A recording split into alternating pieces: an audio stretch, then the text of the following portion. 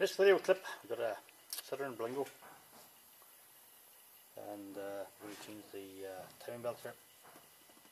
And the kit here, the, the uh, idle wheel and the tensioner so we're going to start off a few bits here in the front here and uh, we're going to use the uh, we're going to use the uh, locking tool here to lock her up.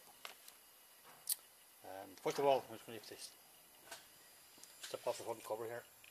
And uh, reservoir exhaust nut off the exhaust here. So what's our next step on our uh, Peugeot Citroen 16 HDI uh, time belt change.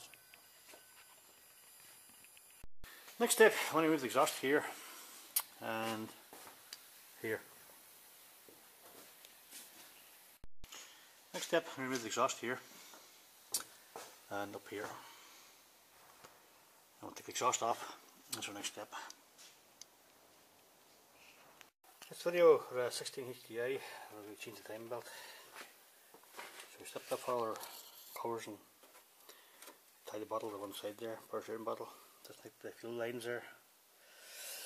Off the timing covers, and we're all set up there now. And uh, we have followed the instruction manual, came with a time belt kit. So we're all set up there now to pull the belt off and uh, take off the uh, belt, get off the wheel first, cover, and then the jack up the engine. Need a jack to hold her up.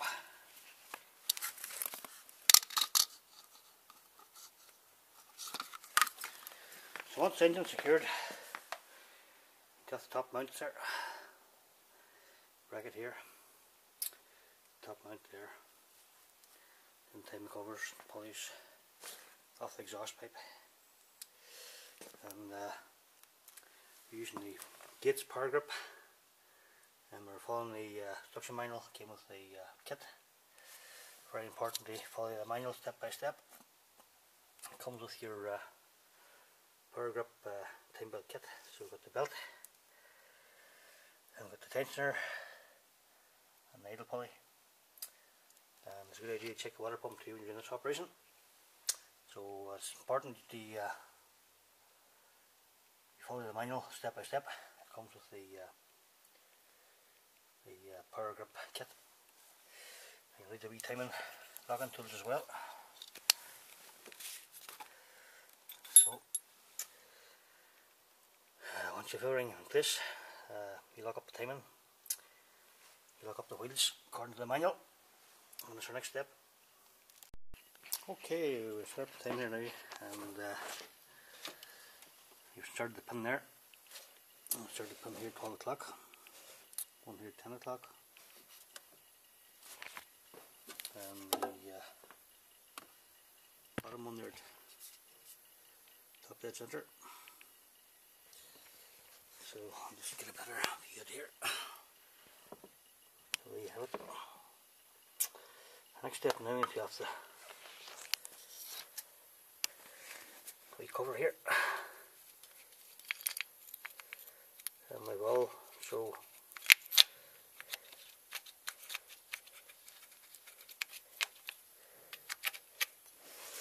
We've also removed the uh, shot of that uh, goes there.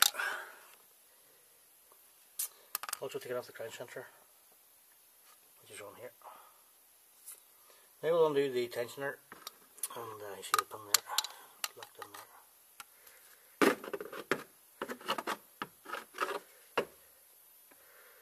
So all all the pins are in, they're all locked up so our next step will be undo the tensioner and uh, that's our next step.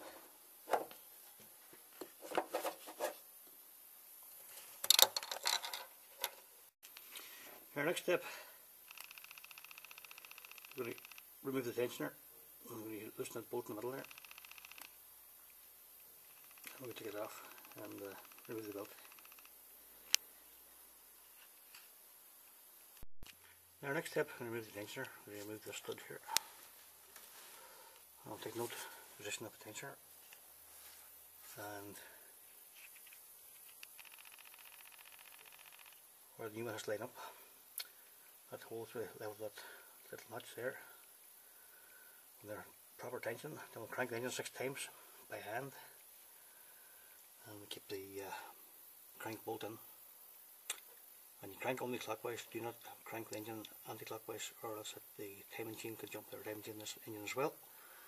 So it could upset the timing chain, knock the timing off on the second camshaft. So you always clock the uh, crank the engine clockwise only and that'll tell you on the little manual there. So do not clock crank the engine anti-clockwise. You only clock it, uh, crank it clockwise. So just want to watch and always follow the little manual comes with your time belt. So next step now I need to remove that bolt there and uh, undo the tensioner and remove the belt.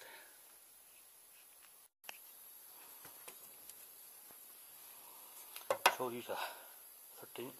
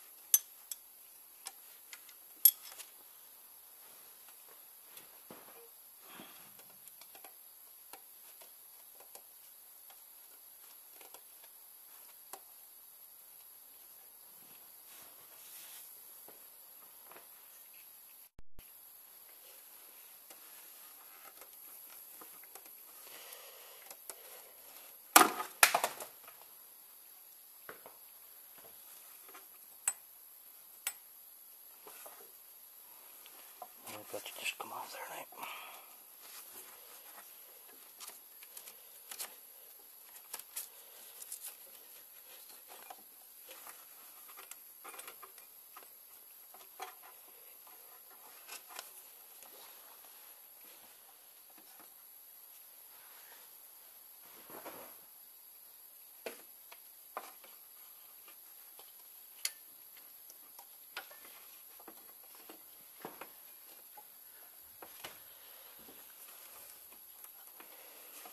So, half cup the belt.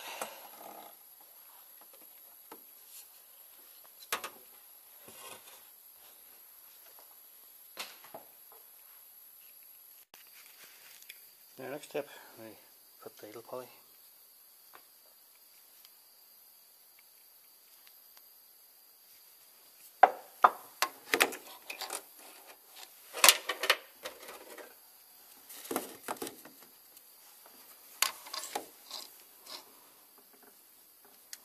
and tighten it up.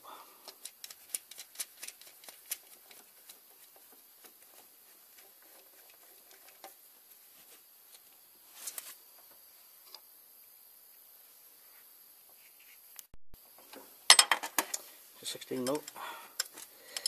If you tighten by hand in, you can do it with a torque spanner. Check out the torque spanner. It tells you on the manual what the torque setting is. you can tighten my hand and lightly and then torque it with torque spanner. Next step is the idle pulley on. Next step now on the uh, tensioner pulley. That's next step.